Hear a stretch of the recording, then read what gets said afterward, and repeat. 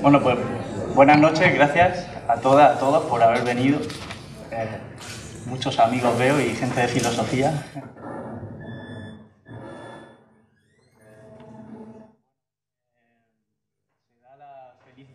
Eh, coincidencia de que eh, tenemos en Murcia no solo al pensador de Rodin, la escultura de bronce, sino que tenemos a un, otro gran pensador eh, de carne y hueso, que es Enrique Dussel. Enrique Dussel es filósofo, es historiador, es teólogo, argentino, aunque también mexicano. Desde los años 70 se exilió a, México y ahí sigue hasta hoy es profesor de la, en la UNAM, en la Universidad Nacional Autónoma de México y también en la UAM.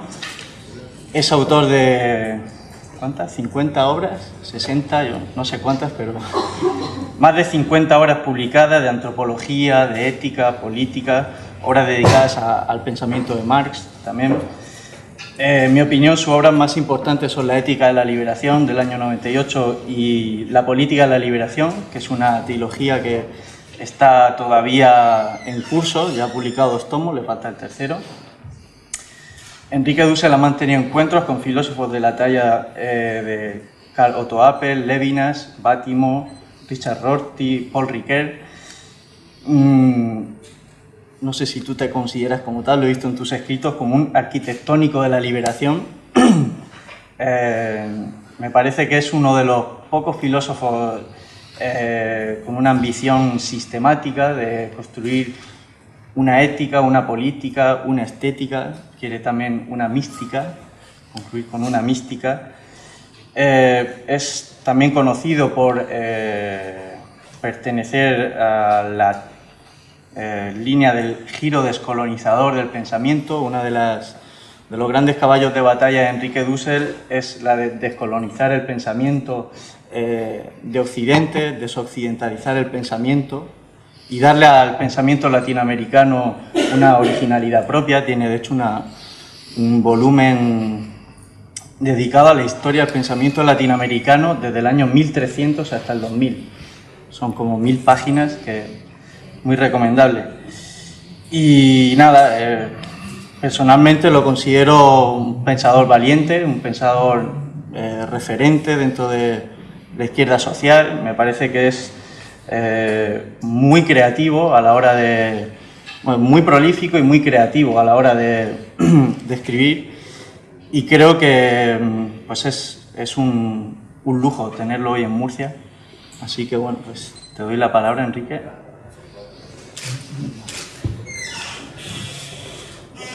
¿Hay el botón? Yo siempre hablo parado, así que ¿cómo ¿Ah, hago con el micrófono? Pues... ¿Se escuchará así o hay que...? aquí? Ahí está. Ah, eso es mejor. A ver. ¿Me escuchan allá en el fondo? ¿Sí? ¿Los del fondo, fondo? Entonces está bien. Eh, para mí es un, es un gusto.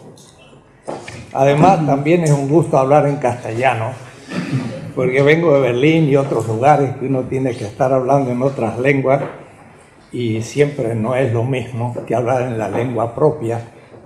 Entonces, por lo menos ese aspecto ya no hay que pensar en él. Y mucho gusto estar en Murcia. Por segunda vez hace años que estuve aquí también en la defensa de una tesis Mariano Moreno que fue sobre filosofía liberación. Un joven filósofo de esta región que por un accidente de motos se nos fue, demasiado joven, pero eso me hizo venir. Y además me, interesa muchísimo Andalucía, porque me interesa el mundo árabe, este, este mundo que vivió casi seis siglos, siete siglos en estas regiones, y que me, sirve siempre para hacer una visión histórico mundial no eurocéntrica, porque allá en enero de 1492, el mundo árabe musulmán bereberes y muchos otros, otomanos, iba desde el Marruecos, con su FES de 400.000 habitantes, enorme ciudad culta, de grandes academias filosóficas, teológicas, astronómicas, matemáticas y demás, hasta Libia, hasta el Egipto fatimita y después pues Bagdad, centro del mundo. Durante cinco siglos Bagdad fue el centro del Old System, diría Adam Smith. Desde Bagdad salían las caravanas a la China por el Turquestán chino y llegaban a la China cientos de caravanas un europeo, Marco Polo, fue récord mundial y llegó a la China uno. Había cientos de caravanas que se salían de Bagdad y había hasta barrios bizantinos y en la China que por Kabul llegaban a la India, que llegaban hasta los sultanatos de Indonesia, Malaca, y me ha tocado estar en Mindanao, en Egipto. ¿Qué Egipto? Filipinas, y encontrar una mezquita y una mujer cubierta su rostro y decir, ¿estoy en Filipinas o estoy en Marruecos?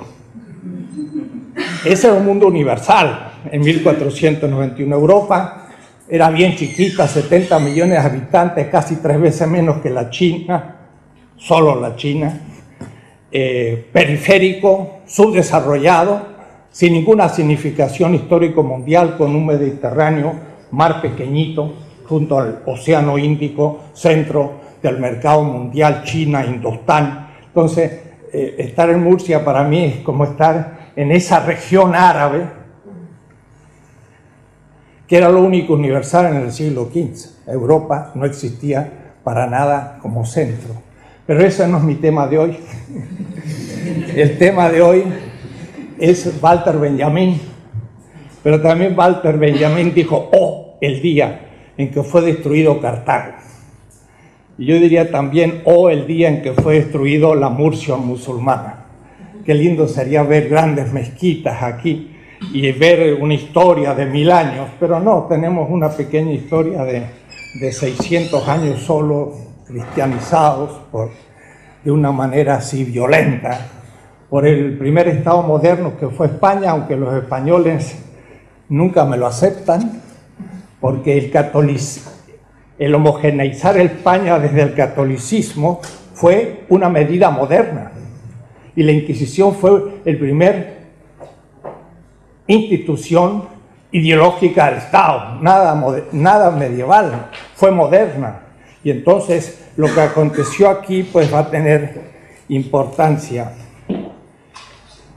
Walter Benjamin está de moda por lo menos en América Latina se lee bastante, y hay muchos autores que están hablando de él, y me parece que es conveniente que sea así. El semestre pasado eh, lo dediqué todo a, Walter Benjamin, porque estoy iniciando el tercer tomo de mi política de la liberación. Entonces, el tercer tomo es la ruptura, es justamente el fin del Cronos, del tiempo duración y el comienzo del kairos, la ruptura.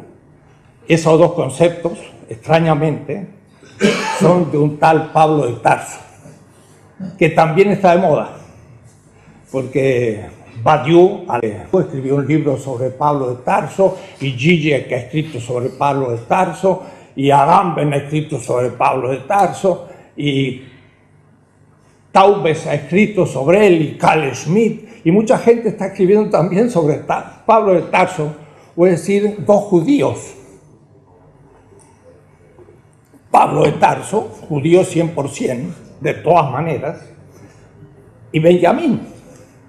Y entonces, ¿qué tendrá que ver estos dos judíos con la filosofía que yo practico, que es la filosofía de liberación? Pues tiene mucho que ver porque desde mi juventud, allá en la lejana Argentina, en una provincia, un poco como Murcia, Mendoza, bastante desértica, entonces ahora cuando venía en el tren desde Madrid, desértico, la estepa, las montañas secas, los olivos, es mi tierra exactamente igual. Mendoza hay olivos, hay viñas, parece como un clima mediterráneo, Y lo mismo sentí cuando fue a Israel, desierto, olivos, tierras muy parecidas a mi tierra originaria, estas regiones del sur de España e Israel. Una experiencia de un argentino y de un alemán, ¿qué tendrá que ver? Un judío como Benjamín y una persona como yo. No se imaginan muchas intuiciones semejantes. Y desde mi juventud.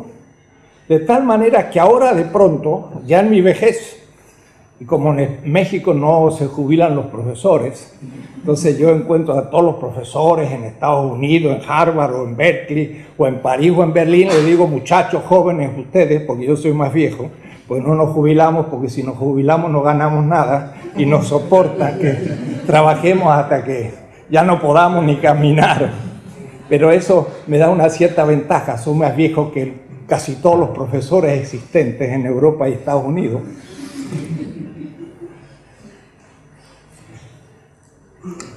La experiencia de mi juventud fue que estudiando filosofía y estudiando los griegos, me pregunté a mis 18 o 19 años cómo podía criticarlos. Y entonces me vino siempre la intuición que había que hacerlo desde fuera del mundo helénico.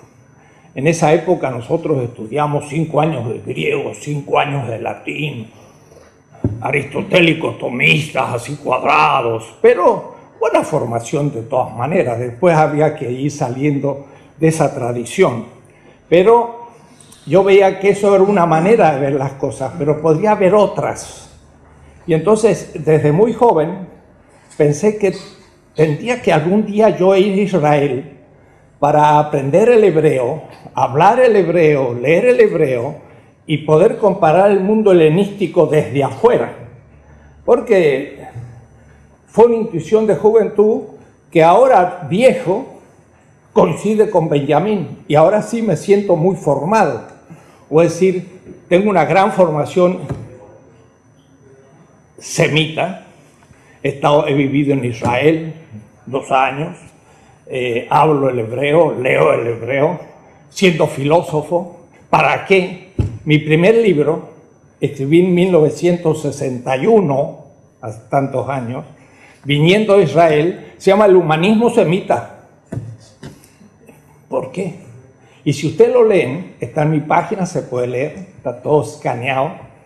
Digo, quiero ir a la prehistoria de mi cultura latinoamericana. Había un poeta se llamaba Mallea, que decía, eh, teníamos nosotros un, héroe argentino, prócer, intelectual, se llama Faustino Sarmiento, eh, que decía que teníamos que ser como los norteamericanos y que los gauchos eran el origen de la decadencia argentina y lo peor que pudimos tener es haber sido colonia de España, ojalá hubiéramos sido de Inglaterra. Entonces para él los gauchos, los, cowboys, era lo peor. Y entonces Mayea dice, pues no va a ser que sea lo mejor. Esos gauchos, hombres de a caballo, venían de Andalucía, pero eso venían del mundo árabe y venían desde el Medio Oriente, venían desde el Gobi. Entonces, eh, recorrer el origen de mi patria era rehacer toda la historia mundial.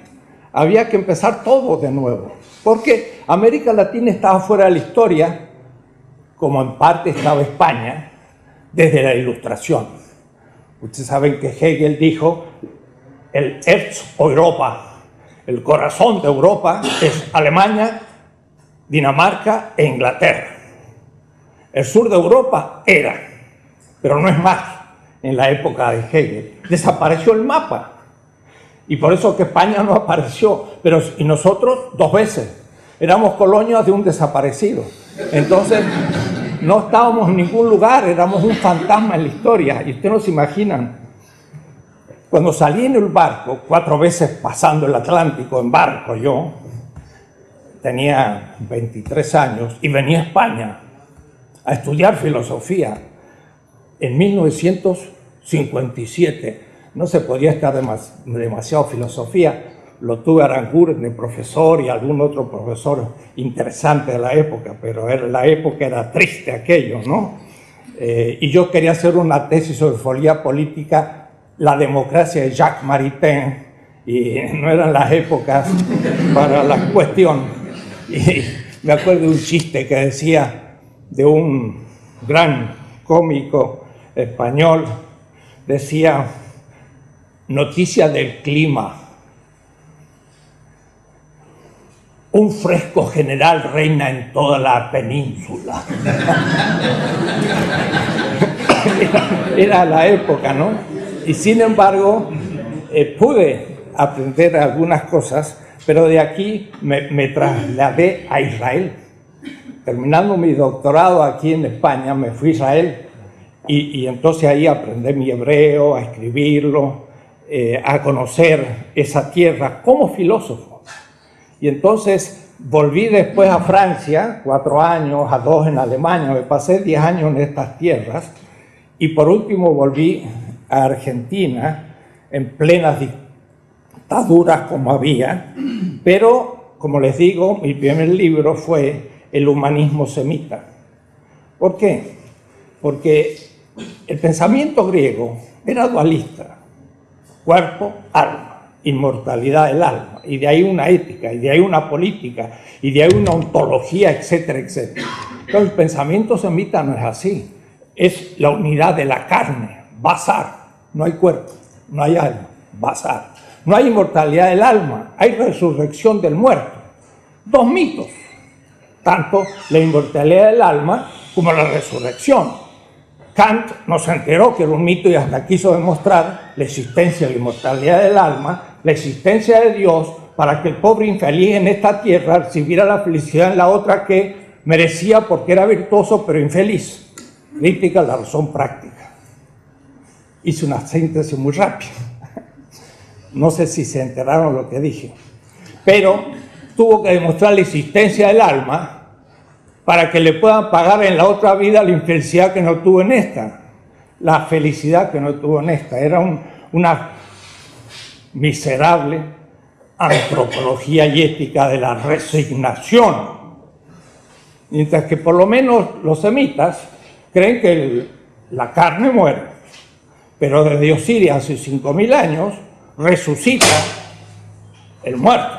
Y con nombre y apellido, el señor Charles Taylor, cuando estudia el libro The Source of the Self, estudia entre los griegos, pero no va a Egipto. Y si hubiera ido a Egipto, hubiera sabido que ahí estaba el self porque Osiris le pregunta al muerto, ¿cómo te llamas? Y dice, Juan Pérez.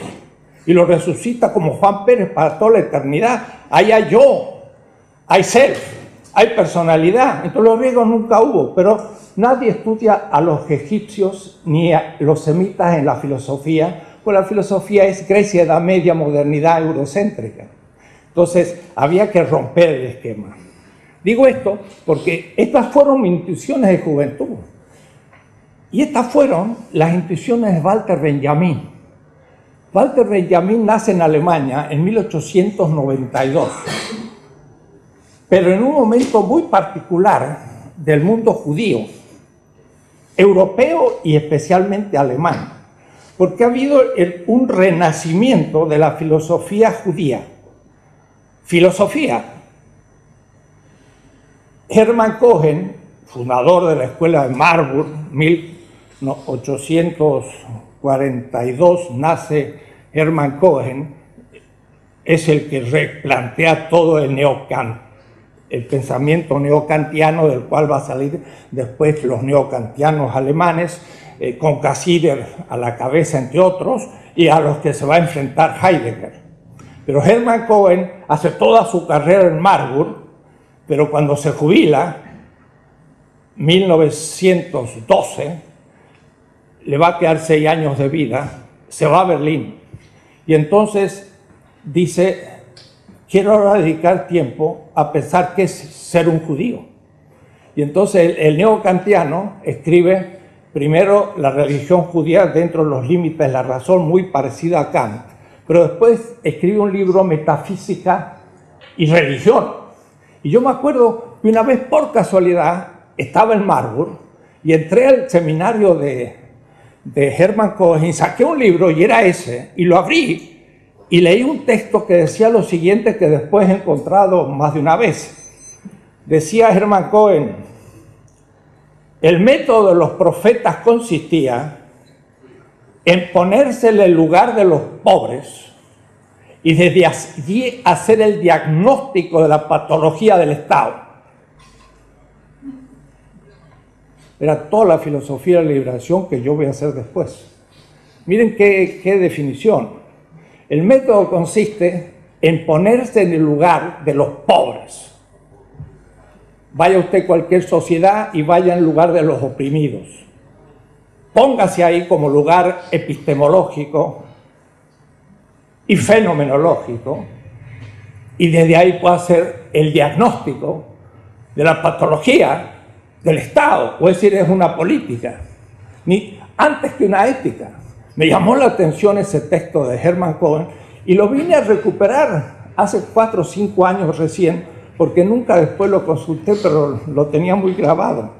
Hermann Cohen comienza a repensar filosóficamente el pensamiento judío y cuando tiene su texto escrito, Frank Rosenzweig, también un gran pensador que empieza a trabajar Hegel y el Estado, y también se vuelve contra Hegel como judío, y escribe der Erlesung, La estrella de la redención, un libro difícil, pesado, pero que leyó Benjamín, que leyó Levinas, que leyeron todos los judíos a partir del 1930 en Alemania y en algunos lugares. Es una repensar el pensamiento judío con intención filosófica, tal manera que Walter Benjamin tenía ya un antecedente de un pensamiento judío que se venía repensando.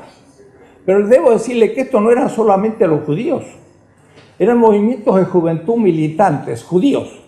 Miren, en el mismo momento, 1926, el Bana, en el Cairo, fundaba los hermanos musulmanes, que era un movimiento como si fuera el, el movimiento de los jóvenes judíos en Alemania, creyentes musulmanes con sentido democrático, que iban a los pueblitos, reconstruían la mezquita, reconstruían, hacían la escuela y los hospitales y se dedicaban a la política social. De ahí van a salir estos hermanos musulmanes que ahora están haciendo ruido en, en, Cairo, y de ahí salieron también eh, la extrema izquierda después de la represión de Nasser, que mató a muchísimos hermanos musulmanes, pero era un movimiento de jóvenes, creyentes, pero al mismo tiempo nacionalistas contra el imperio inglés, que volvía a las tradiciones y no negaba su religión. Extrañamente, no era la modernidad jacobina, sino era una modernidad distinta. Lo mismo va a pasar en América Latina. Yo pertenecí a grupos de militantes. Lo voy a decir porque me lo autoriza Walter Benjamin. Cristiano, pero demócrata. Por eso llegué a Madrid y no sabía cómo justificar un Jacques Maritain contra Charles de Conin, porque mi tesis era la, defensa de la democracia en 1957-58. ¿Quién iba a hablar en esa época de democracia? Tuve de director de tesis, no le cuento, se llamaba, y algunos lo conocerán, Millán Puelles, que terminó el Opus. Entonces, mire qué gente. Bueno, conozco bien España porque hasta seguí algunas clases de Subiri, el cual era un tipo realmente inteligente y del cual debo algunas tesis fundamentales. No otras, pero algunas sí. Entonces, eh, la izquierda, en general, y marxista mucho más, era jacobina, era atea, era materialista, no tenía nada que ver con el imaginario popular. El imaginario popular musulmán es religioso. El, imaginario popular alemán, pero judío, era también religioso. El imaginario popular latinoamericano, ni hablar, es religioso. Miren ahora cuando se levantan los latinos en Estados Unidos, 5 millones salen a las calles.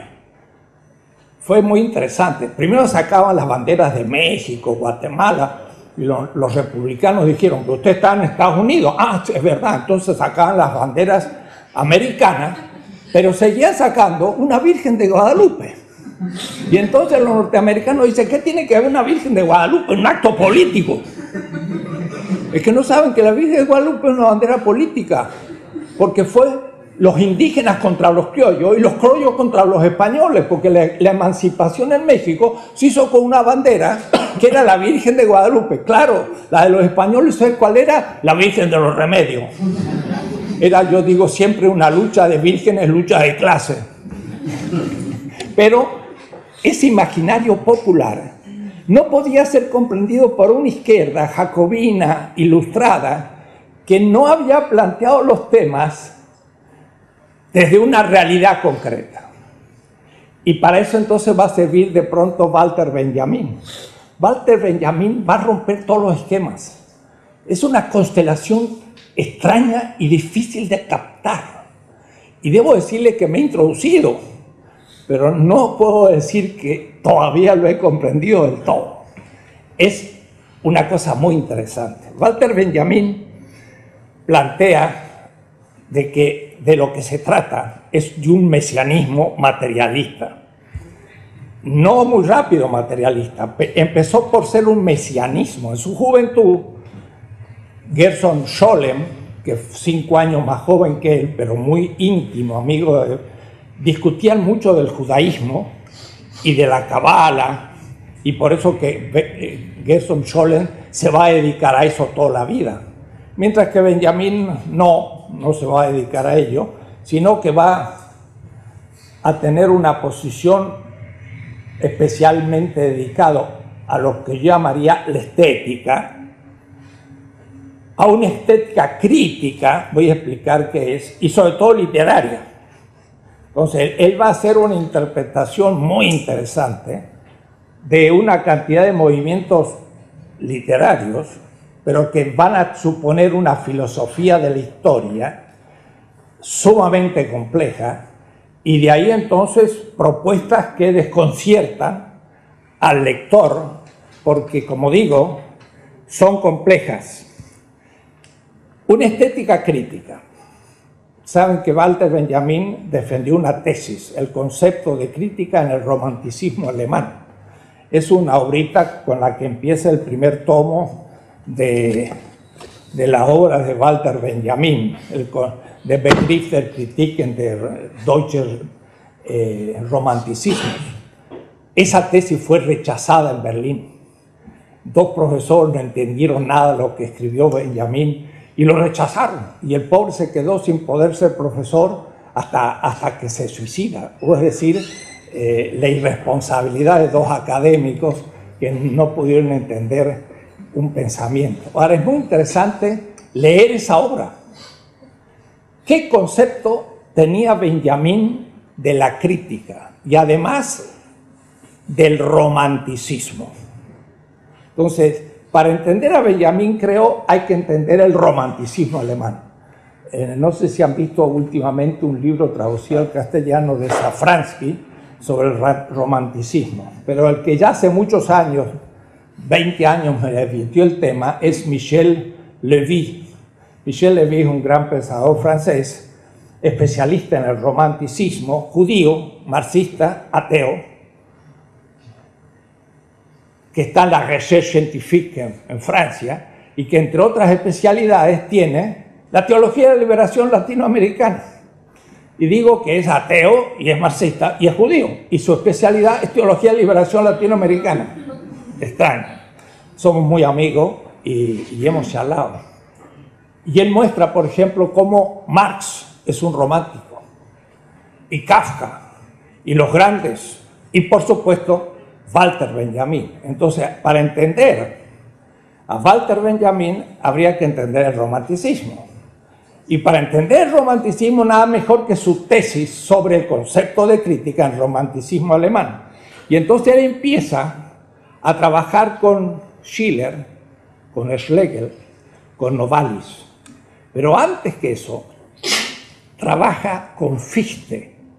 Y no he visto a nadie de los que han trabajado a Benjamin que hayan, haya fijado su mirada en Fichte, que es el que le da a él la clave de su comprensión de la historia y de lo que es la crítica. Para simplificar, Walter Benjamin dice, la crítica se establece a tres niveles. Hay un texto, o artístico, o una obra, esto es la materia. Hay una interpretación primera de la obra, es un segundo nivel, pero hay un nivel propio de la crítica. Y este tercer nivel es el que realmente recrea la obra y la completa. O es decir, una obra sin crítica no existe. Y la crítica es tan importante como la obra misma. Schlegel era un mal poeta, no fue un buen artista y sin embargo se sentía realizador de la estética porque era un crítico. Y Novalis dice unas cosas muy interesantes muy importante para mí porque yo, entre otras cosas, desarmo la historia eurocéntrica, aquella de la antigüedad, la edad media, la edad moderna, un invento de los románticos, hace dos siglos. Eh, no, ese es un buen tema para exponer, porque lo he expuesto ahora en Berlín y pega duro porque es una pura invención eurocéntrica que se ha expandido por todo el mundo. Yo estudié en la, escuela secundaria la antigüedad, la edad media y la edad moderna, y no existe. y dice Novalis, la antigüedad no se da, es que la hemos inventado. ¿Cómo? Han inventado el significado del pensamiento griego-romano como fundamento de esa Alemania germánica que culmina con los románticos. Y entonces reinterpretaron la historia mundial desde Europa y dejaron todas las otras culturas fuera. Y, eso, eso es un invento romántico. Pero es interesante, porque entonces la crítica realiza la obra. Y si la crítica no se ocupa de obras, las obras se olvidan y desaparecen. Y no existen más.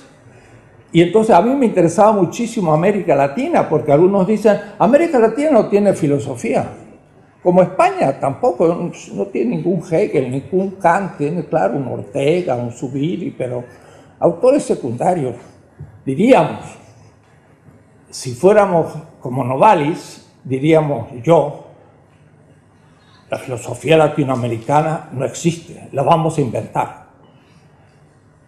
Y mira, acabamos de publicar 1100 páginas, dos columnas bien chiquitas, 17 etapas de la filosofía latinoamericana en los últimos siete siglos, empezando por los aztecas, los mayas y los incas que tienen filosofía según otra definición. Y, y después, no se imaginan, les voy a dar un ejemplo, ustedes saben que dicen los filósofos que la filosofía moderna empieza con Descartes. Todos, Hegel, todos. ¿Dónde estudió Descartes? En la Flèche. ¿Qué es la Flèche? Un colegio jesuita.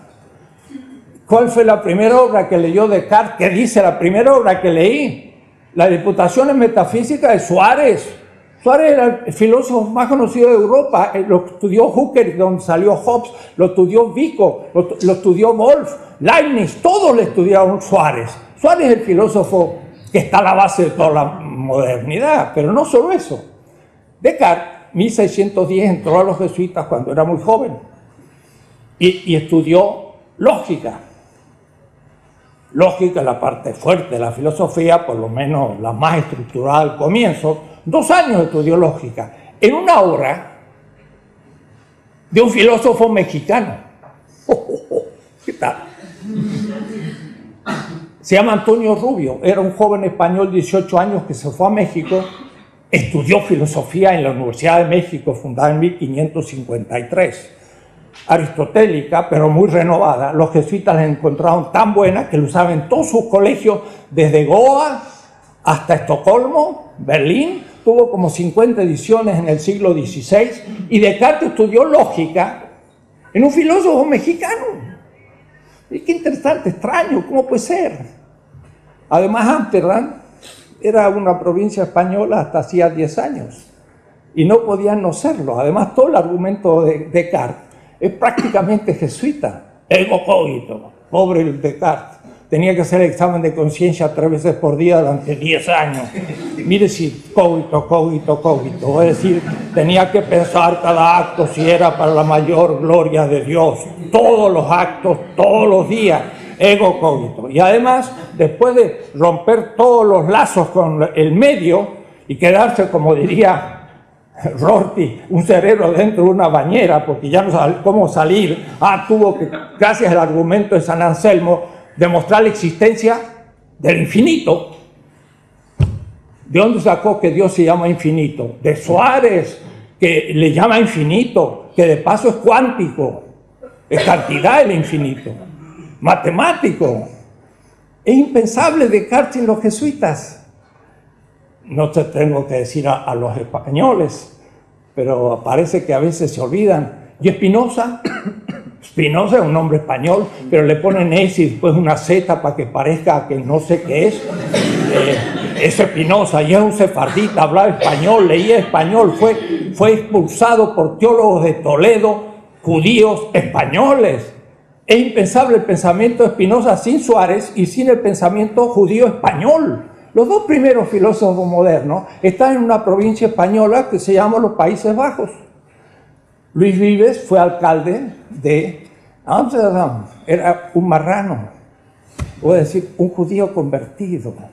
Entonces, tenemos que hacer todo eso como de nuevo y, empezar a ver todas estas cosas con otros ojos. Digo esto para eh, ir viendo la crítica. La crítica significa volver sobre los materiales existentes y nosotros tenemos que crear esa filosofía si estamos a nivel. O es decir, de Aristóteles tomó los presocráticos y los elevó a su nivel, y nadie va a decir que Parmenides Heráclito no es un gran filósofo, pero no lo eran, mientras que los grandes no lo elevaron a su nivel. Entonces, eh, la crítica realiza su objetivo. Es muy importante el concepto de crítica en el pensamiento del romanticismo alemán que va a tomar eh, Walter Benjamin.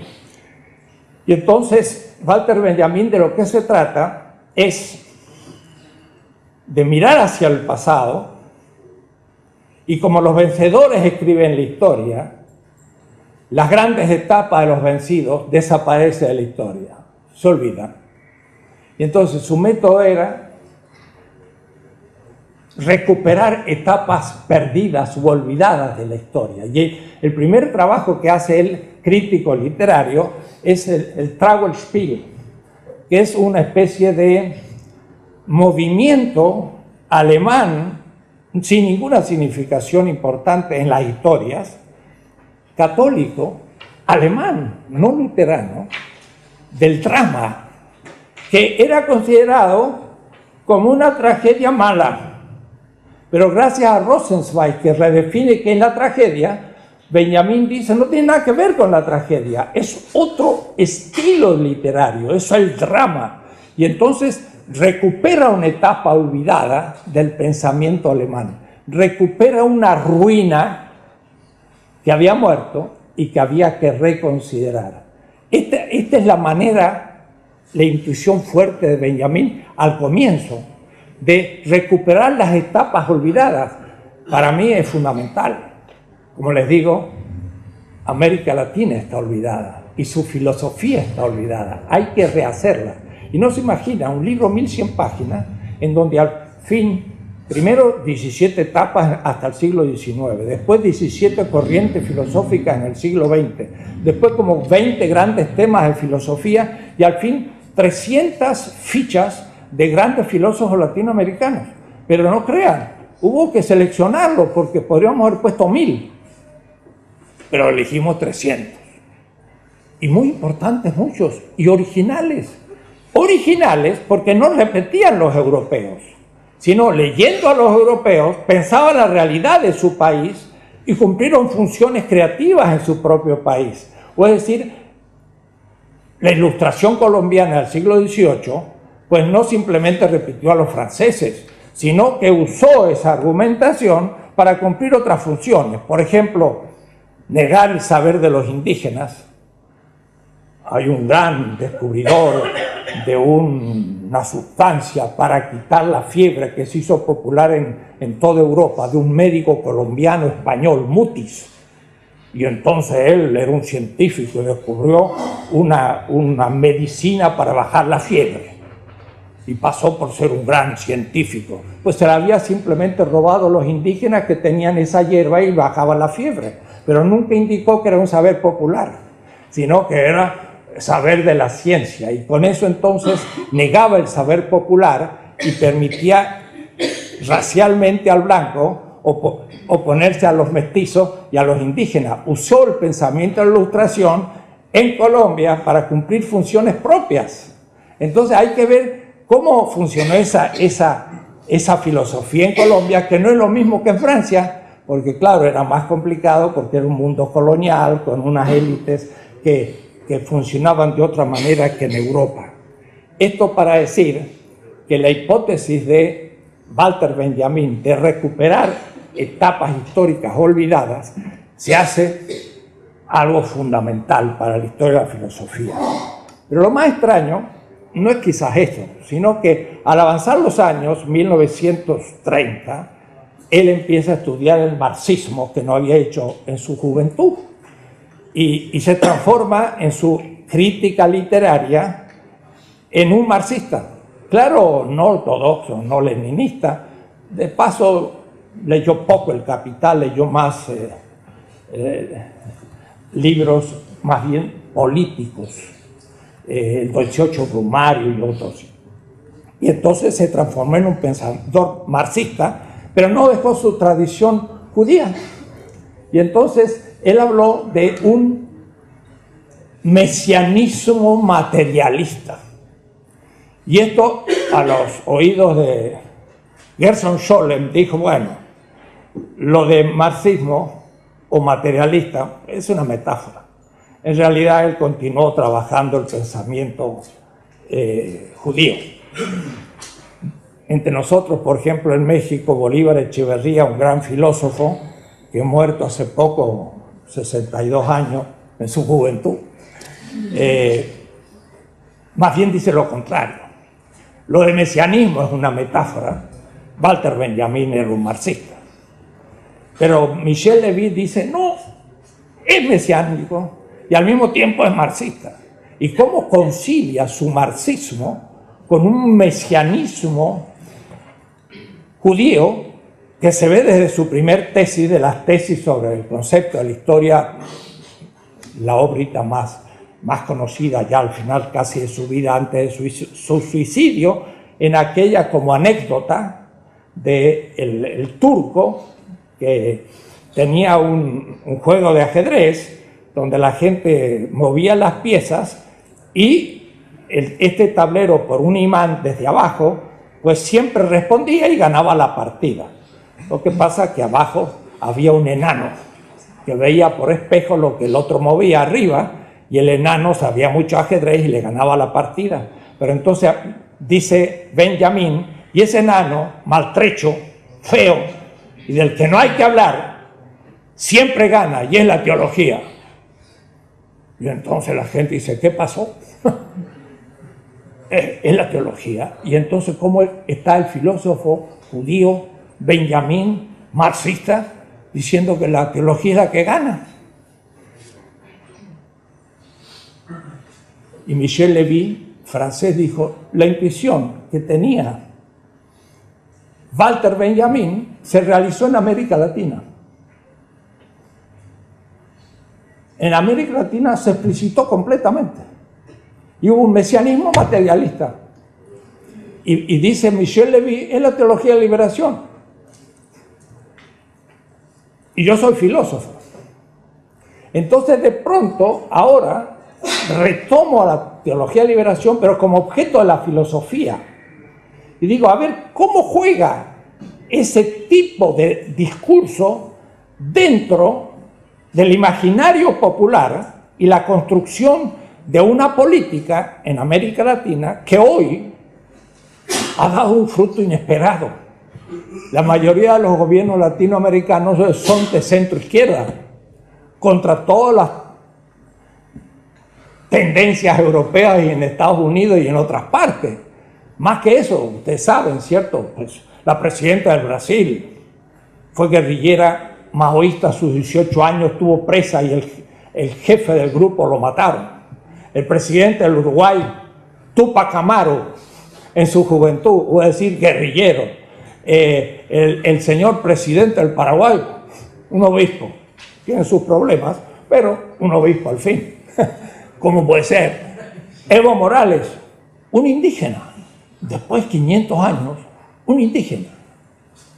Es un signo histórico mundial.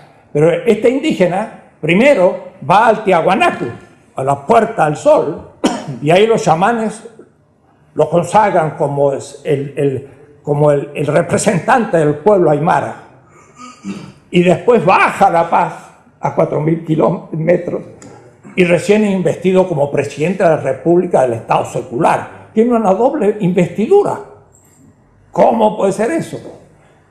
El señor Hugo Chávez, que me cuentan hoy de que parece que vuelve a tener problemas de, del cáncer, pues también se expresa de una manera que es compatible con el imaginario popular religioso de la gente. El señor Rafael Correa del Ecuador pues es un antiguo demócrata cristiano que ahora se ha volcado más al pueblo, tiene problemas. En Nicaragua volvió el sandinismo, pues, claro, no como debía ser, pero volvió. En El Salvador hay un antiguo guerrillero. ¿Cómo es posible que, se haya dado esta situación? Bueno, esta situación tiene que ver con la intuición de Walter Benjamin un mesianismo materialista. ¿Era posible conciliar el más estricto marxismo con una tradición semita? Y esto lo digo como filósofo, no como creyente ni como teólogo, como filósofo. Sí, y se hizo. Personalmente, allá por 1977, después de que me pusieron una bomba en mi casa, la derecha, antes de los militares, ya me explotaron la casa y a veces saco mi obra de Hegel, está rota, y le digo a los muchachos, pues me la rompieron la bomba. Fui el primer filósofo en la historia de la filosofía que recibió un atentado bomba. ¿O conocen otro? Yo sé de historia, así que no ha habido otro antes. han muerto, han sido torturados, han estado en la cárcel, como Gramsci o como... Pero no habían recibido atentado de bomba. Yo la recibí, me echaron de la universidad, me echaron del país, llegué a México y ahí todo el mundo hablaba de Marx. Entonces yo dije, oh, hay que estudiarlo en serio. Me puse a estudiar y me di cuenta que no era tan conocido. Me puse a estudiar cronológicamente a Marx, arqueológicamente, y me propuse hacer el comentario a las cuatro redacciones del Capital, así como Avicena hizo a Aristóteles o, o Im Rush o Tomás de Aquino. Tomar la obra de Marx mes por mes, desde 1857 hasta 1873 y ver cómo Marx iba construyendo las categorías, los Grundrisse, un libro de 400 páginas. Manuscrito del 61-63, siete tomos en alemán. A ver cómo fue haciendo el trabajo. Manuscrito del 63-65, no estaba publicado en alemán. Me fui a trabajar los archivos de Ámsterdam y de Berlín. Comentario de los inéditos de Marx. Y luego la cuarta redacción es recién el Capital 1, primera edición, pero en realidad lo que la gente empieza a leer es de 1873, que es la quinta redacción. Es un trabajito así, 10 años. Y cuando terminé de leer eso, dije, pues esto no tiene ninguna contradicción con el pensamiento semita. Nada. Ah, pero Marx es ateo, pues los profetas israelíes eran ateos de todos los ídolos. Y además los cristianos iban a los circos porque eran ateos de todos los dioses romanos, no creían en uno. Pues eso es ortodoxo. El asunto es de que Dios usted es ateo. Si es del capital ateo, está bueno. Pero si usted cree en el capital como el señor Bush, entonces ya ahí vamos a empezar a hacer una crítica a la ideología. Materialismo. Osiris hace 5.000 años, es un mito, le pregunta al muerto, capítulo 125 del libro los muertos, ¿qué hiciste bueno para merecer la resurrección?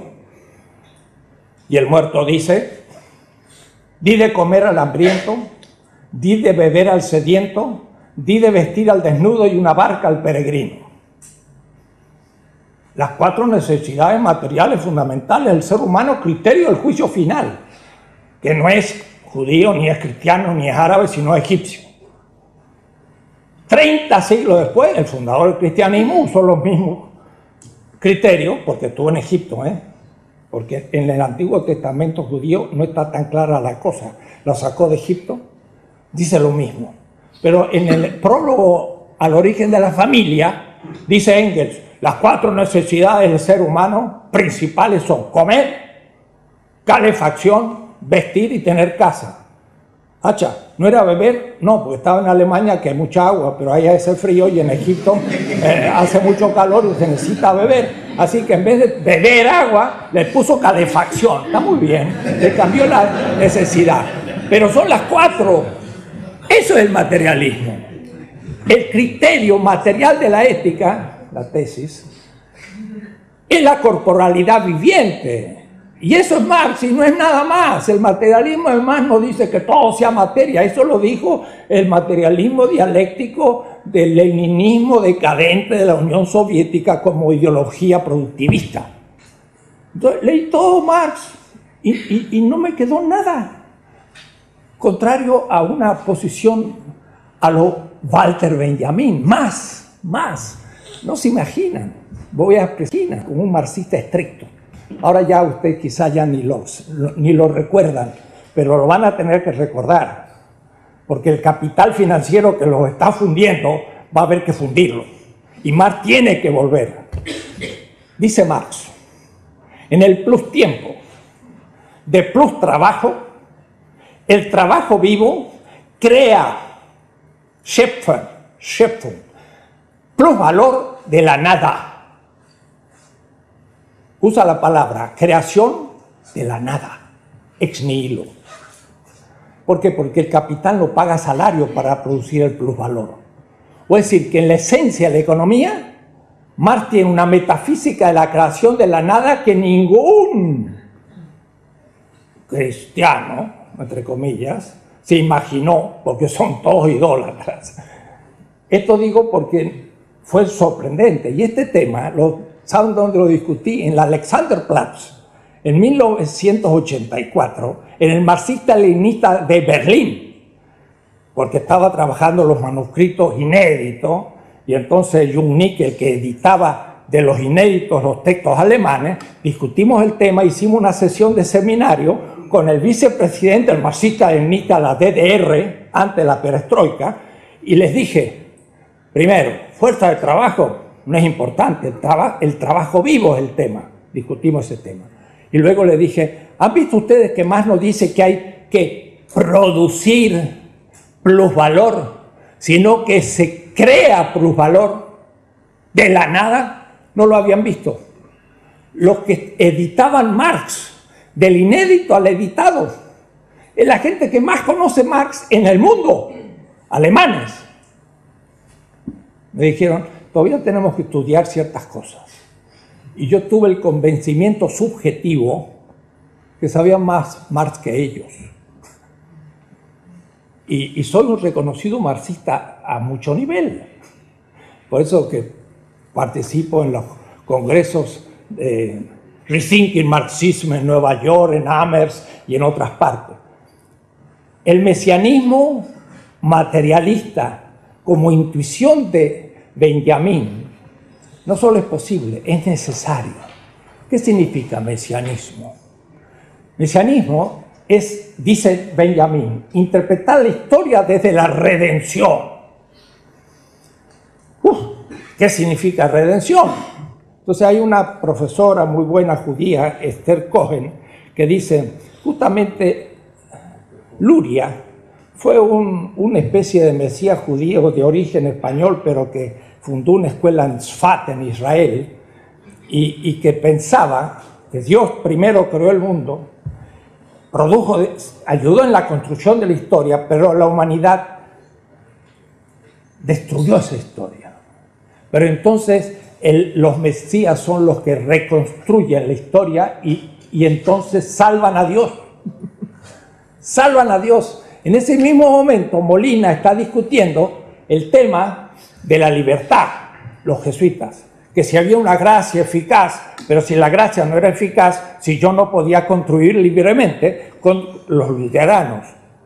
Eso mismo lo discutían los judíos, pero alguno de ellos, que era de la Cabala, propuso que el ser humano redime la historia por su acción. Y parece que esa es la visión que tiene Walter Benjamin de cuando él dice, hay que interpretar la historia desde la redención. ¿Qué significa?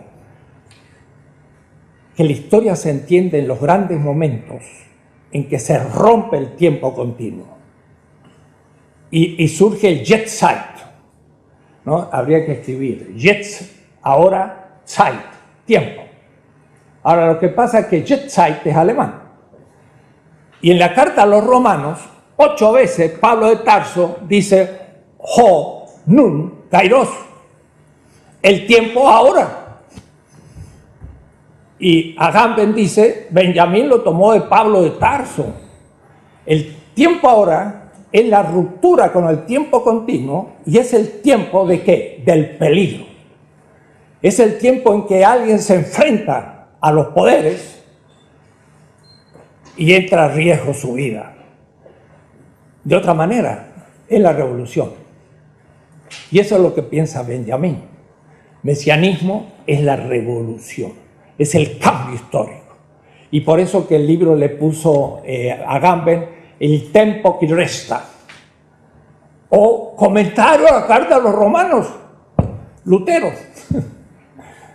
Vengo de Alemania porque en el 1517 Lutero fijó en Wittenberg las tesis y los, luteranos están preparando el quinto centenario de Wittenberg. Y estaba en una reunión de luteranos. Y bueno, no voy a explicar lo que dije, porque les dije cosas que no se imaginaban, desde una interpretación geopolítica del luteranismo. Pero lo interesante es que Lutero leyó la carta a los romanos de una manera moderna, yo pienso individualista, y en cambio ahora está siendo leída Pablo de una manera comunitaria, política, muy distinta. Y por eso el libro de Agamben, El Tempo que reza, es el comienzo de una reinterpretación. Pero nosotros en América Latina, Franz Kinkelhammer, mi amigo, yo y otros, no estamos de acuerdo ni con Zizek, ni con Badiou, ni con Taubes, ni con ellos, porque lo pensamos las cosas de otras maneras. Pero estamos de acuerdo con Benjamin que el tiempo ahora es el tiempo de la ruptura. Y es el tiempo que, justamente el militante entra en un tiempo del peligro. Y esto ah, para mí está clarísimo. Allá por 1973, cuando se preparaba la dictadura militar y estábamos reformando la universidad, y, había luchas populares en Argentina. Eh, por ejemplo, secuestraron a un profesor mío con el que hice introducción a la filosofía, Mauricio López. Lo secuestraron, lo torturaron y después supimos que murió en Bahía Blanca, Mauricio López. Y entonces estábamos en el tiempo del peligro. Era un tiempo que hoy podía yo morir. Ese es el tiempo del peligro, donde la historia de pronto entra a latir de una intensidad gigantesca, porque cada día es una eternidad. Y es una eternidad, dice Benjamín, porque uno pende de la eternidad en el tiempo ahora del peligro. Y esos son los momentos creativos de la historia. El tercer tomo de mi política va a empezar con toda esta temática. Porque el segundo es la arquitectónica, yo donde muestro cómo funciona la política, la praxis política, las instituciones, los distintos tipos de instituciones, sistema de legitimación, los principios normativos de la política, etc. Pero el tercer tomo es la ruptura con eso y cómo se transforma la historia. Y la transformación es cómo nacen los nuevos sistemas históricos.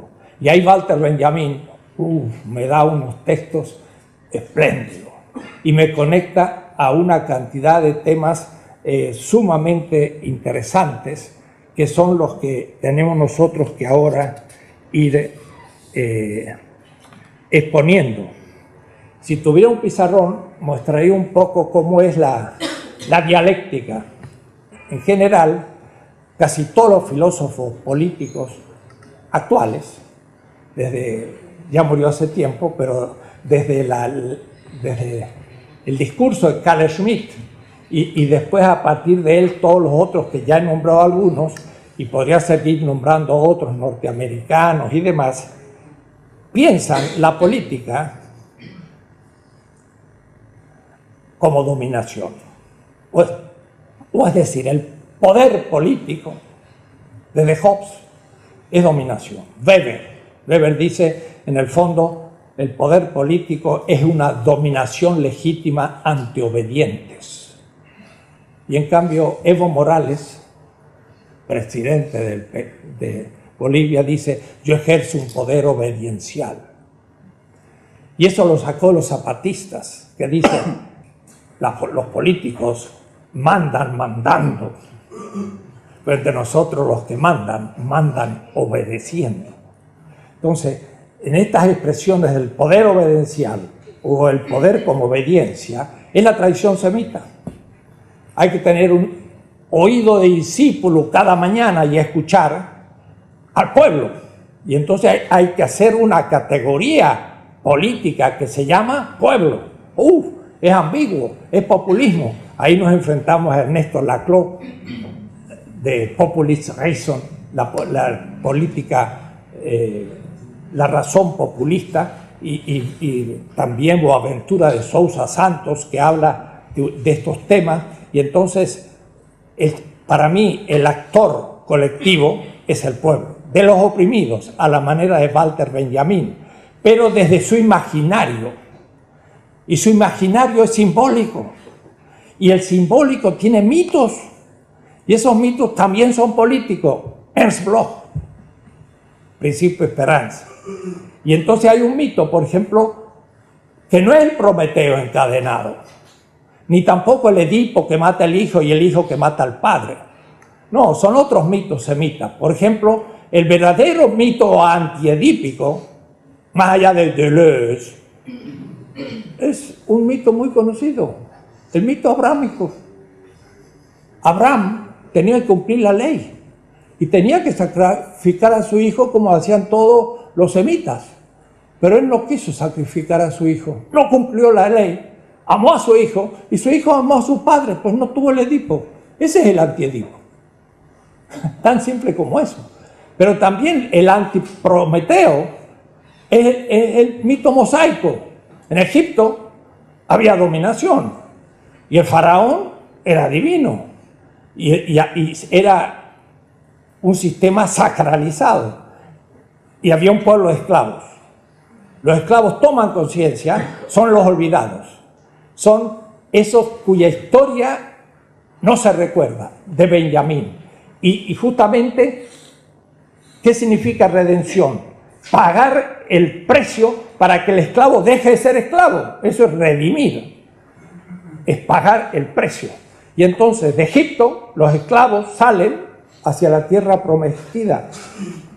Ya no la pienso como teología, la pienso como categoría filosófica y política hay una dialéctica de un sistema de dominación donde colectivamente, no individualmente como el liberalismo, hay un individuo y otro individuo y este lucha contra el otro y se matan, entonces para no matarse hacen un contrato. Hobbes, Locke, hasta, hasta. No, somos comunidad, no podemos no serlo. Y siempre tenemos el contrato a la espalda porque siempre hay instituciones. El liberalismo no le concedo ni el primer paso. Y entonces se, entiende de otra manera la política y, entonces eh, podemos empezar a pensar cómo ese pueblo se libera de un sistema fetichizado y puede luchar para un sistema futuro mejor. Y ese momento es el momento mesiánico de Walter Benjamin. Todos son mesías. Los que, los que entran en el tiempo del peligro, y es el tiempo de la revolución, es el tiempo del cambio, para la tierra prometida. Entonces, es dialéctico. Y como hace mucho que estoy hablando, voy a casi terminar. En mi polémica con Apple, eh, justamente fue larga, aprendí muchísimo, y eso está en mi ética y está en mi política. Pero miren el punto central. Habermas y Apple tienen una, teoría de la legitimidad, de la Kultigkeit, que significa el consenso de la comunidad y se llega a acuerdos.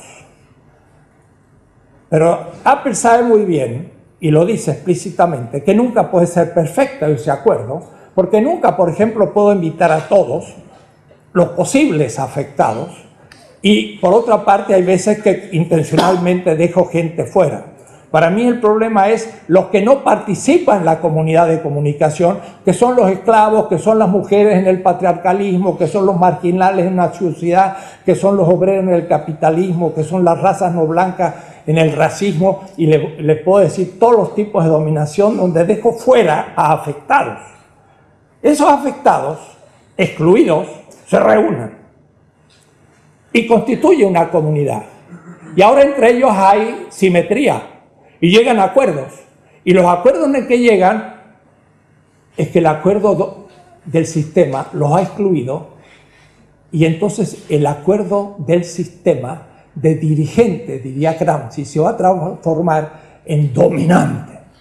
Dice Gramsci, la clase dirigente se transforma en clase dominante cuando pierde el consenso. Porque entonces la gente ya está de acuerdo y ahora tiene que reprimirlos.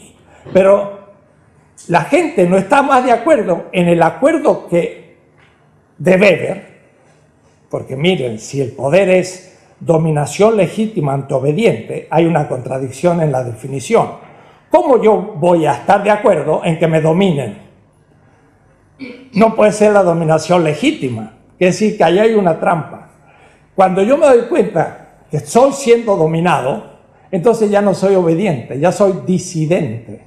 Cuando yo soy disidente, el acuerdo que era dirigente, porque todos estaban de acuerdo, se transforma en represor, dominante. Pero entonces el acuerdo de los dominados ahora es, acuerdo crítico contra el acuerdo dominante. La escuela de Frankfurt, Apple, Habermas, perdió la criticidad de la primera escuela. La primera escuela no tenía consenso, pero por lo menos tenía claridad material de los oprimidos. La segunda perdió la economía, perdió la materialidad y perdió la crítica. Entonces, yo le digo a Apple, justamente, es desde los excluidos del acuerdo dominante de donde surge el acuerdo crítico. Y ese acuerdo crítico es justamente el mesianismo materialista de Walter Benjamin. Y de paso, es el nuevo criterio no solo de la validez, sino de la pretensión de bondad del acto. Y entonces Pablo dice, no es la ley el criterio del acto bueno o justo, porque la ley mata, porque la ley es injusta, sino a fe. ¿Pero qué es la fe? Es el consenso crítico de los oprimidos. Y ese es el nuevo criterio de justificación del acto bueno, no la ley, el consenso, que va a constituir un nuevo sistema y una nueva ley. Y entonces todo empieza a se verse de otra manera. Hay crisis de legitimidad en la legitimidad dominante, hay nacimiento de legitimidad crítica que va a crecer y ahí se ve la dialéctica de esta oposición hasta que los oprimidos se liberan y constituyen un nuevo sistema, el cual va a tener una nueva legitimidad y en su tiempo van a tener que seguir adelante en otro sistema, porque ningún sistema puede ser perfecto. Y entonces va a tener que continuar la historia. No hay sistema perfecto político y por eso es que siempre hay víctimas y las víctimas siempre son el punto de partida del pensamiento crítico. Ese es el pensamiento de Benjamín. las víctimas son el criterio de interpretación de la historia y su historia es olvidada. Y entonces, claro, él plantea otros temas que ya no voy a tocar. ¿Cómo hacer justicia con las víctimas del pasado? Y eso ya, ya pasamos a otros niveles que serían eh, seguir hablando de estas cosas. De manera que yo hace ya como una hora y tanto que estoy hablando y la verdad no he dicho casi nada. Lo único que he hecho es abrirle temas, pero, ¿por qué? Porque este, este Walter Benjamin es un hombre que habla constelaciones y, y habla una cantidad de temas nuevos contra, contra el jacobinismo ilustrado que nos permite recuperar el imaginario popular, pero no de una manera fanática ni fundamentalista como entre los movimientos en este momento árabes. Y termino diciendo, justamente vengo de Berlín, un encuentro, y estuve discutiendo con un egipcio, y vamos a ver si organizamos un encuentro con los hermanos musulmanes para enterarles estas cosas, porque el movimiento musulmán se opone a la modernidad en bloque y se transforma en un movimiento fundamentalista. En América Latina no hay fundamentalismo. El único que hay son de los militares de derecha que se enseña en la CIA o, son los norteamericanos, pero no hay. ¿Por qué? Porque hay un pensamiento crítico democrático que, imposibilitó ese, ese fundamentalismo antimoderno, pero cuidado, tampoco somos posmodernos, ni aceptamos la modernidad, pero racionalmente vamos más allá. Entonces, esto es complejo, pero creo que interesante va a ser mi tercer tomo de la política. Estos uno o dos parágrafos del comienzo del tercer tomo, eh, el pensamiento de Walter Benjamin y también de Pablo de Tarso, pero desde la filosofía de la liberación y no desde la teología. Pero puede estudiar el impacto político en el imaginario popular de una teología hecha por filósofos no sé si se entiende. Si yo entro al, imaginario popular, lo he hecho, porque si yo he dado un curso a 500 afros en, San Miguelito, en Panamá, donde después los norteamericanos tiraron bombas y mataron a media población. Entonces yo digo, a ver, ¿tiene usted una Biblia? Eso es de ellos, es, parte de la cultura popular. Entonces yo digo, pues, mire, dice la Biblia de tu abuela, que, que que creen eso, estaban los esclavos en Egipto. ¿Y qué tal? Nosotros no somos los esclavos de Egipto. ¿Quiénes son el faraón? Son estos militares, pues no había dictadura. Y entonces la gente enseguida empezaba a descubrir las cosas. ¿Y el imperio romano? Son los norteamericanos. y los soldados ahí que atravesaron al crucificado que estaba en la silla eléctrica ¿Quiénes son? Y son los mariners. Y, empiezan a entender todo, pero bien. Y entonces, eso es de ellos. Está en su imaginario y usted no lo tiene que negar, lo pone en marcha. ¿Eso es lícito? Claro. Eso hace una filosofía de la liberación también, pero no en mis libros. Ustedes verán que mis libros son puramente filosóficos, pero cuando tengo que enfrentarme a la gente al nivel popular, eh, tengo que pasar al nivel también de los símbolos. Y esos símbolos hay que reinterpretarlos y ponerlos en movimiento. Si usted toma un libro como Rigoberta Menchú, que dice, me llamo Rigoberta Menchú y así me nació la conciencia. Uno indígena quiché, los militares mataron más de 150 mil quiché en Guatemala. bajo las órdenes del Departamento de Estado. Casi murió más gente que en Irak, en la pobre Guatemala. Esas son las historias olvidadas que hay que volver a recuperar.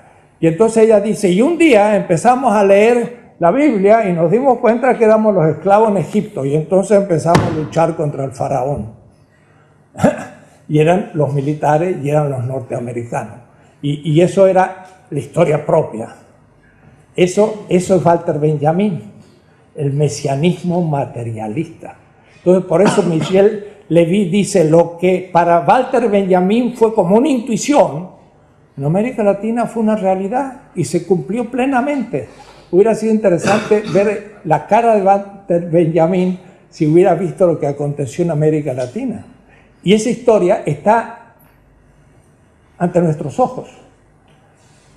Porque Lula, que ha salido un magnífico primer presidente, salió de las comunidades de base.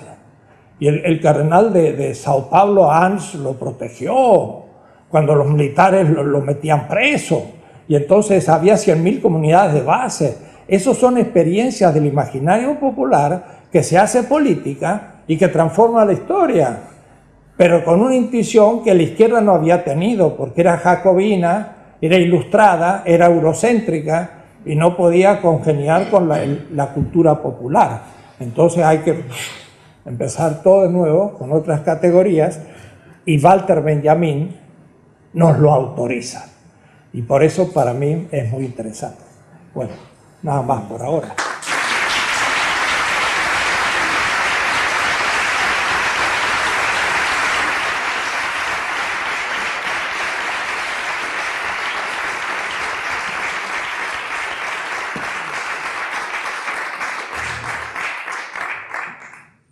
Muchas gracias a Enrique Dussel. Abrimos un turno de palabras breve. Yo daría como unos 15 minutos más o menos. 10, 15 minutos. Nos van a echar enseguida, así que, bueno. Eh, sí, el micro. Enrique, para ah, Sí. ¿Alguien puede pasar el micro? Bueno, ¿tú quieres hablar?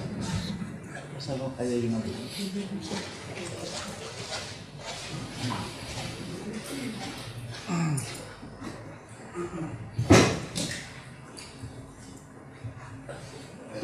Hola Enrique, eh, muchísimas gracias por las palabras en la conferencia y a los organizadores. Eh, yo creo que todos estamos entusiasmados de haberte tenido aquí y haberte escuchado.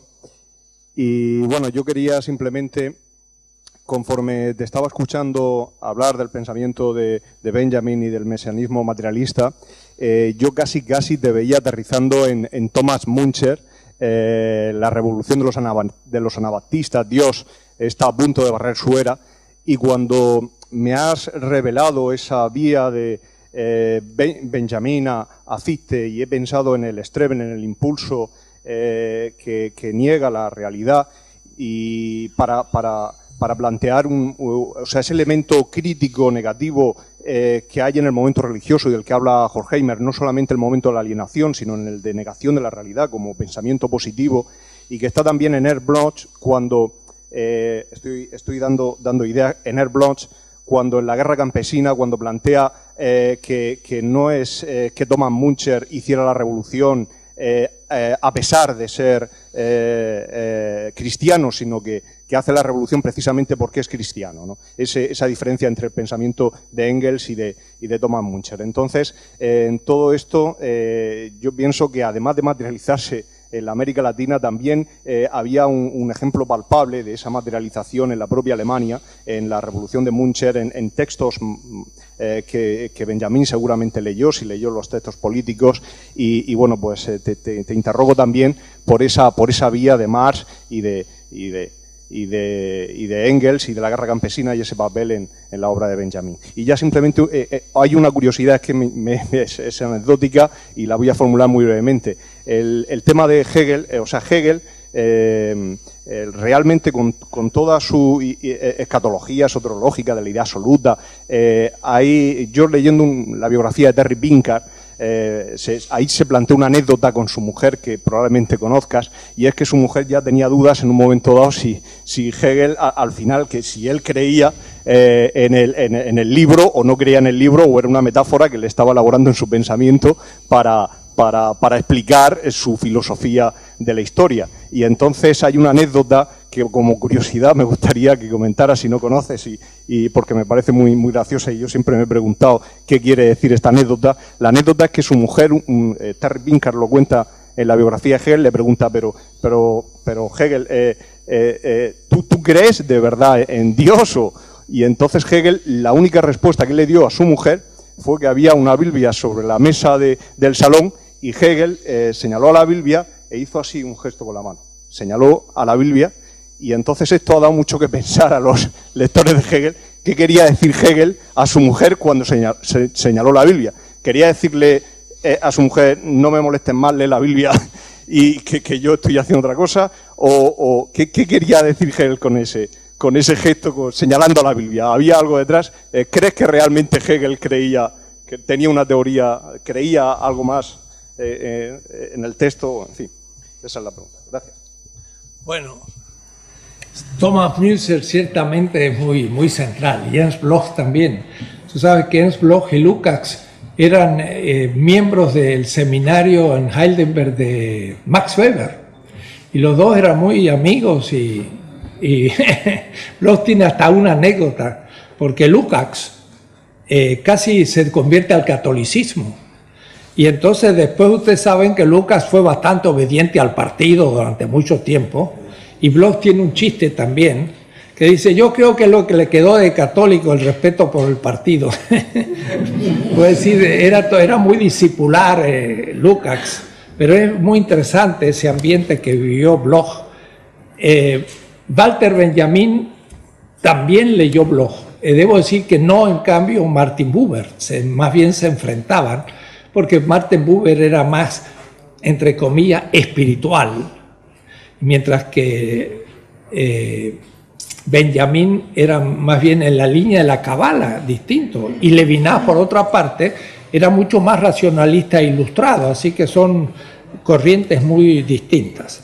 Ahora, el libro El ateísmo en el cristianismo de Ernst Bloch es fundamental, y justamente Golbisser en, en, Madrid, eh, pues tuvo, en Madrid, que en Berlín, tuvo muchas clases sobre eso, y en América Latina, entre nosotros es muy famoso Franz Hinkelamert, es un gran marxista y al mismo tiempo es un alemán que ha estado 50 años en América Latina y era alumno de, de Goldwitzer. Entonces, Thomas Münzer y Ernst Bloch eh, en esto es muy importante.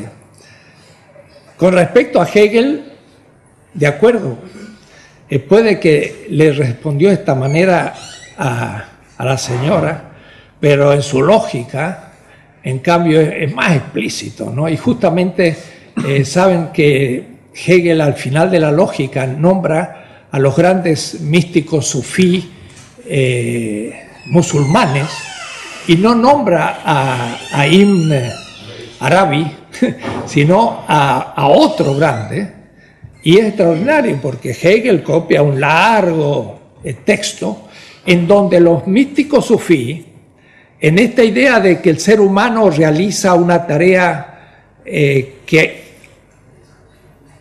miren cómo es, cumple una tarea como siendo Dios mismo. Y entonces Hegel piensa que también la autoconciencia del ser humano es una teodicea, porque es la conciencia que Dios va tomando sí mismo de la historia. Ahora, después ya que si subjetivamente lo afirmaba o no, habría que preguntarle, pero en sus escritos se ve muy claro que el saber absoluto es el saber a través del ser humano, del conocimiento que Dios tiene de sí mismo. Y eso es, una, también una posición de la Cabala y, y, algo tiene que ver también con Walter Benjamin. Con respecto a ese tipo de temas, yo querría indicar otro. Ustedes saben que los jesuitas también en América Latina hicieron las reducciones las reducciones jesuíticas no fueron inventadas por los jesuitas, sino por los tupi guaraní, por los mojos y chiquitos, por los californinos, eran pueblos que no tenían propiedad privada, eran recolectores y tenían todo en común. Lo que, hicieron los jesuitas es organizar lo que esta gente ya vivía. Fueron expulsados por los Borbones, porque los jesuitas eran lo mejor del antiguo régimen en la época de los Habsburgos, del barroco diríamos, mientras que los Borbones fue la ilustración y los liquidaron. Los jesuitas a veces ni saben por qué fueron expulsados de todas partes, porque era la quintesencia del pensamiento anterior del humanismo mercantilista, pero no industrial. Pero miren qué interesante, miles, fueron 2.500 jesuitas que se expandieron por toda Europa y aparecieron cientos de obras sobre las reducciones de los guaraníes y otros. Estos libros fueron leídos por Morelli, por Mably y por los que después van a ser el socialismo utópico. De tal manera que realmente hay un primer capítulo del socialismo moderno que no se ha escrito, y son las reducciones jesuíticas y franciscanas de América Latina en el siglo, fin del siglo XVI, sobre todo el XVII y comienzo del XVIII. Ahí hubo sociedades de comunismo pleno. Y a tal punto que ahora Gamben acaba de escribir un libro muy bonito, Después del Reino y la Gloria, que es un libro tremendo, eh, porque es justamente la aplicación de la posición de Carl Schmitt sobre la teología política. Ha escrito otro que se llama La, preciosa pobreza, algo así, en italiano, y, entonces muestra cómo los franciscanos eh, tenían, hicieron toda una filosofía y reconstruyeron todo el derecho para solo usar el valor de uso y no afirmar de ninguna manera el valor de cambio. Y tuvieron que hacer toda una revolución. Es un libro último de Agamben, ¿no? Pero eso hizo que eh, Joaquín de Fiori, por ejemplo, propusiera a los franciscanos poner todo en común, era un socialismo. Cuando llegaron a América, los franciscanos, se dieron cuenta que los indígenas no tenían ninguna apetencia para tener propiedad privada, ni sabían lo que era, ni les interesaba para nada, todo en común. Y entonces los franciscanos dijeron, pero esto ni le ha tocado el pecado original, estos son perfectos, nosotros que hacemos votos y, queremos ser pobres y tenemos que ser como Francisco así, y estos ya pues lo son así, los bautizaban directamente. y claro, eso armó un lío después, claro, porque no los evangelizaban, pero los franciscanos estaban admirados de aquello. Digo esto porque es también un capítulo desconocido del socialismo que surgió allá. Y ahora en, Bolivia volvemos a lo mismo, porque los aymaras tienen un sentido de la comunidad y de la democracia participativa que ya quisieran los demócratas norteamericanos o de la ilustración imitar a lo que hacen los, los aymaras, que tienen una vida en común completamente eh, tradicional y que saben lo que es decidir en común las cosas. Entonces, esto hay que institucionalizarlo, hacerlo teoría y es una nueva etapa en la filosofía política mundial. Es lo que yo estoy haciendo en mi filosofía política. No es comentario de los autores europeos, es una filosofía política distinta. Tengo un librito chiquito, se llama 20 tesis de política, que ya ha sido traducido en unas cuantas lenguas, quizás si alguno tiene un ratito se puede leer rápido, pero no es una repetición, nada. Es más allá de Habermas, más allá de Apple y más allá también de Agamben, a partir de la experiencia latinoamericana, filosofía política. Así que eh, Münzer, Thomas Münzer es fundamental.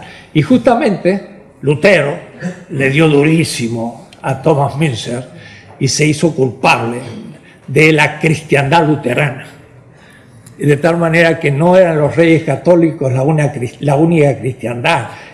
estuvo la cristiandad dinamarquesa, eh, luterana y, noruega y sueca y todo esto anglicana, y, eso es lo que Kierkegaard criticaba y criticaba Hegel, porque Hegel aceptaba justamente que la religión cristiana es el fundamento del Estado.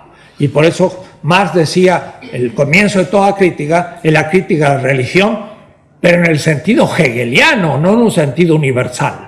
Porque para criticar al Estado había que criticar el fundamento, que para Hegel era el, cristianismo. Entonces, la crítica de la cristiandad es el tema. Entonces, Marx en el 42, en aquel artículo sobre la censura, cuando lo, condena y tienen que huir de Alemania, Marx escribe, el Estado cristiano, el Kaiser. Miren lo que dice Marx, lean San Agustín y los padres de la iglesia y díganme de dónde han sacado el Estado cristiano. El Estado cristiano es contradictorio del cristianismo, porque el cristianismo inventó el Estado secular.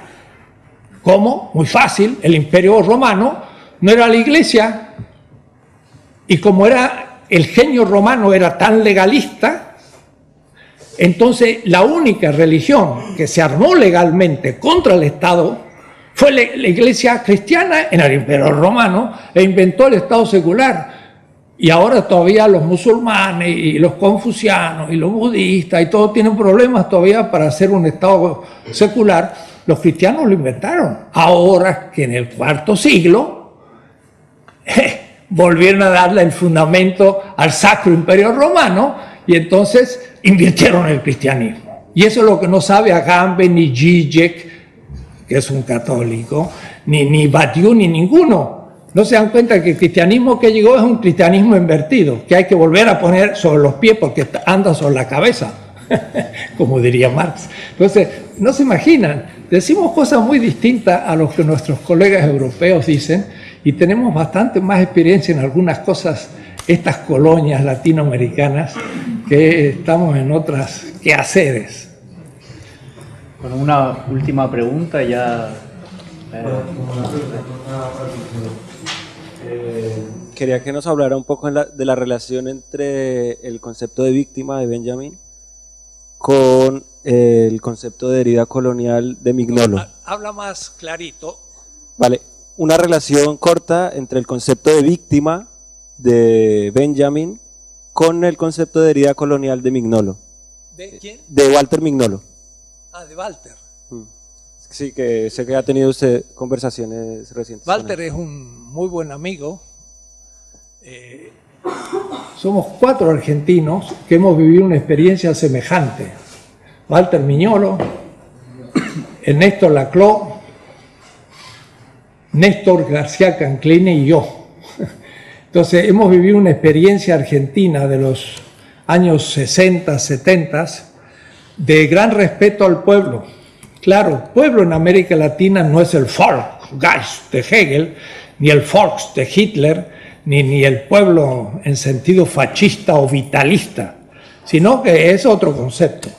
Entonces, eh, Walter Miñolo, me acuerdo hace como 15 años, una vez en Puebla, un lugar que Alejandro conoce, me invitó y ahí lo conocí y empezamos a trabajar juntos y algunas de mis hipótesis la tomó. Y, él es más bien lingüista, o sea, trabaja, trabajó con Saussure en Francia y después de haber sufrido la dictadura argentina, en vez de volver en los 70 a Argentina, se fue a Estados Unidos y es un muy prestigioso profesor en Duke University. Él tiene un pensamiento de lo que llamamos el giro descolonizador, igual que otro grupo de gente. Llamamos giro descolonizador en el sentido de la crítica del episteme a la manera de Foucault, pero sabiendo que Foucault es también un eurocéntrico y casi ni siquiera eurocéntrico, francocéntrico, porque por ahí ni, ni Alemania reconoce, y qué decir España que no tiene ni noticia, ¿no? Italia tampoco, son franceses, son muy chauvinistas ahí y se creen en el centro del mundo. Pero la idea de, la epistema es muy importante. Entonces, todas las ciencias sociales, todas, la historia, la lingüística, la antropología y la filosofía, son eurocéntricas. Pues si tienen una, una concepción de la evolución de Europa como centro, y, desde esa modernidad europea interpretan todo. Y empezando por la concepción de la propia modernidad, que creen que la modernidad es una invención puramente europea, que después expandieron por el mundo, y que Max Weber dice, ¿de dónde vendrá que esta cultura se transformó en la cultura universal? Y lo empieza a estudiar hacia atrás y llega casi hasta los profetas de Israel. Tengo una visión completamente distinta de todo eso, porque la modernidad europea sí domina otras culturas, pero aprende muchísimo de ellas. Y entonces se informa de ellas y desde la centralidad las retrabaja y las devuelve. Entonces hay un, trabajo ahí de doy y me da. Es como la comida. La comida europea hoy no es como en 1491.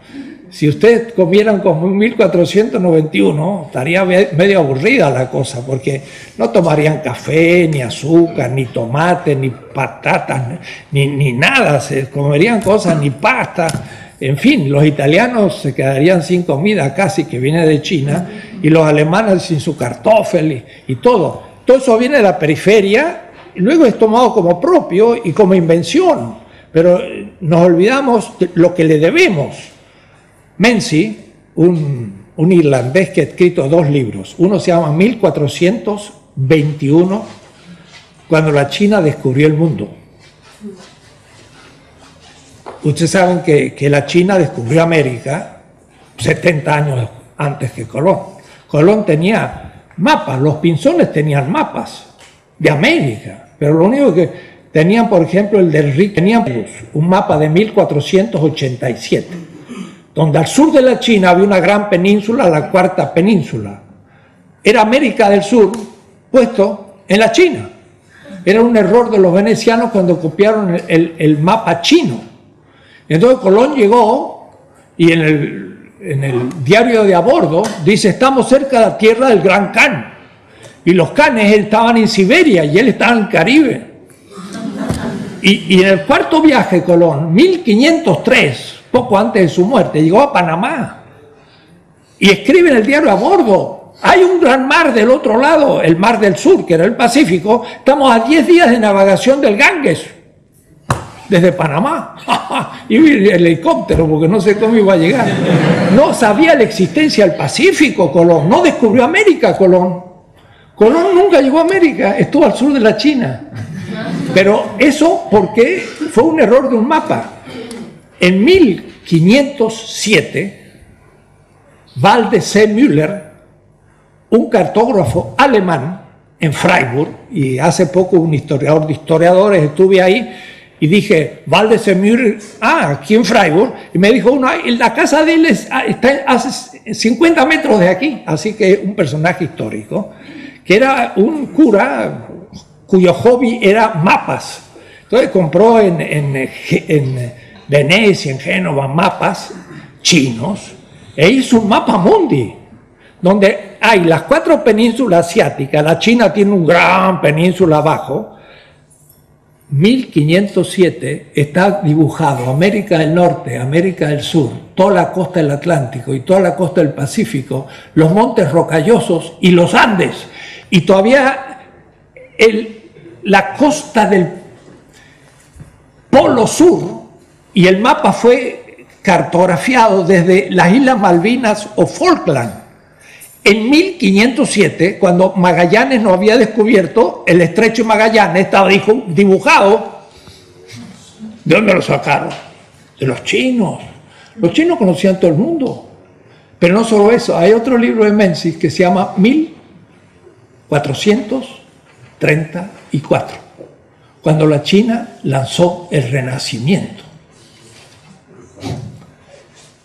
Tiene un libro, los chinos descubrieron el papel en el, siglo VI, la imprenta en el octavo, en el noveno imprimieron papel moneda, no estampitas, papel moneda.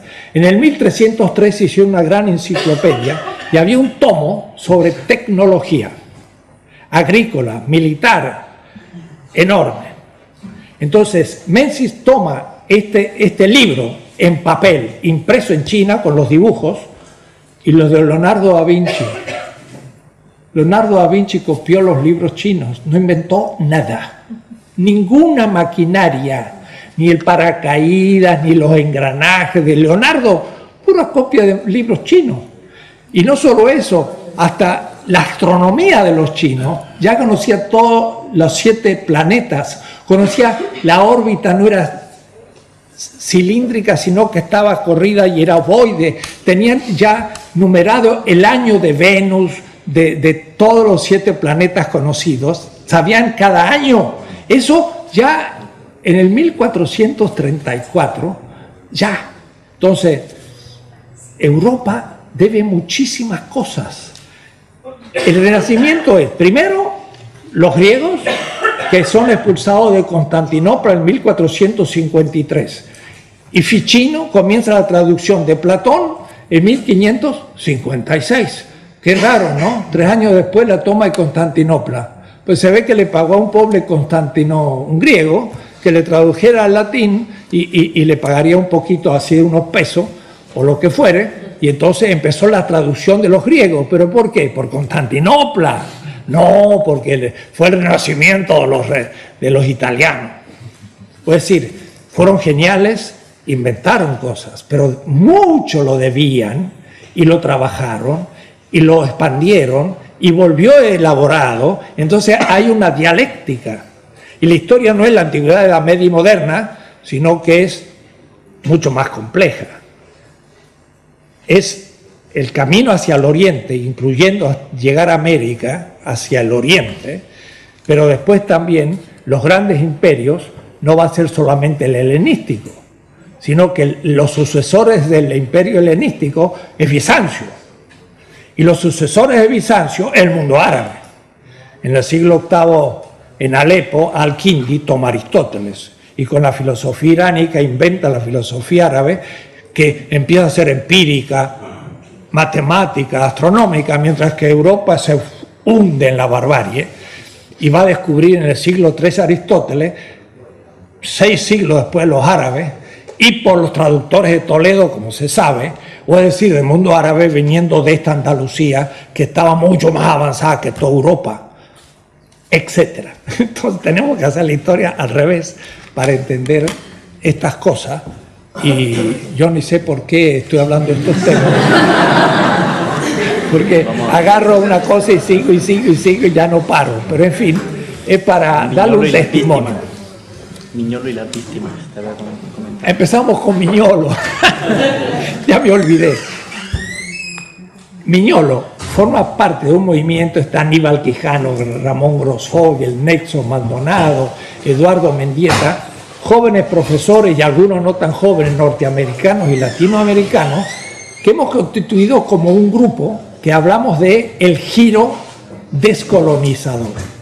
Así como había un giro lingüístico allá en Carnap y el, el Círculo de Viena, o el giro pragmático de Apple, Habermas y la Segunda Escuela de Frankfurt, hablamos de un giro descolonizador epistemológico.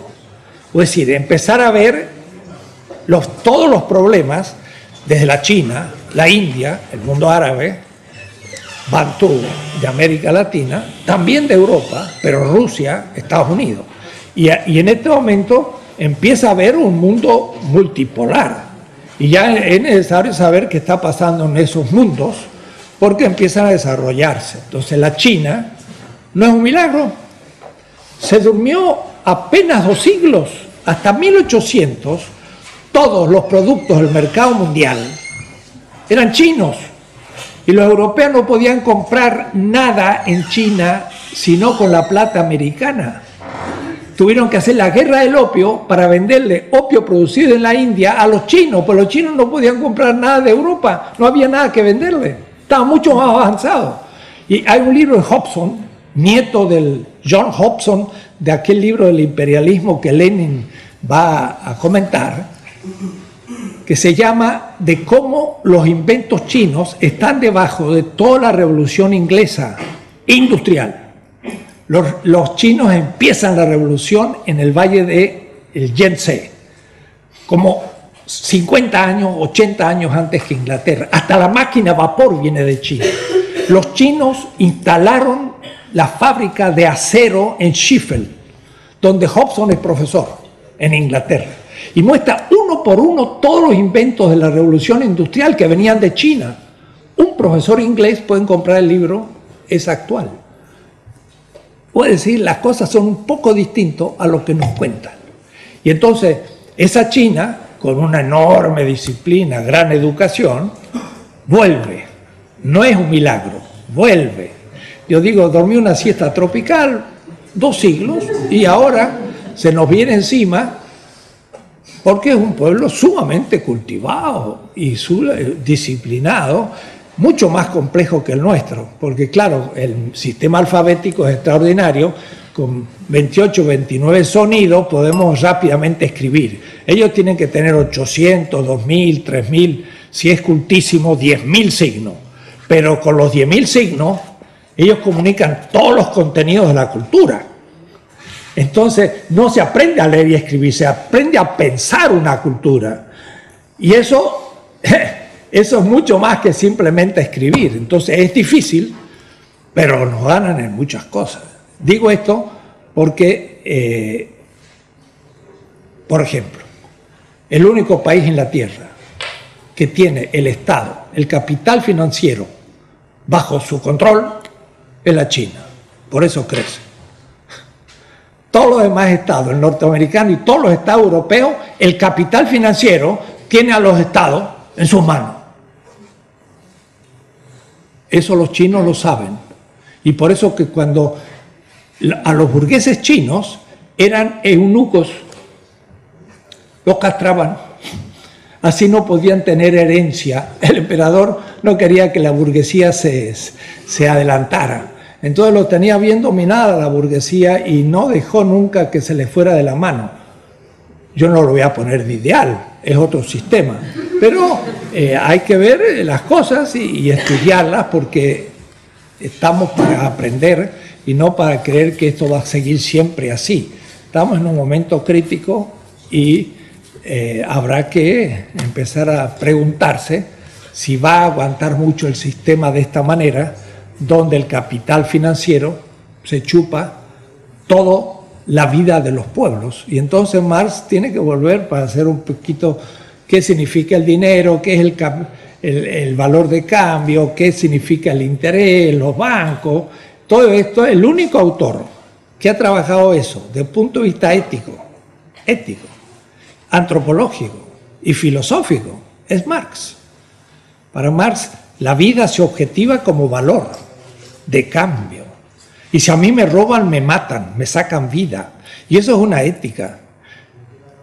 John Locke, Adam Smith no tienen esa ética, tienen una ética a partir del mercado. Entonces, la filosofía tiene mucho que decir en el futuro en estas cosas. Pero nada más. Ya vamos a terminar porque se están cerrando la universidad. Muchas gracias Enrique Dussel y muchas gracias a todos.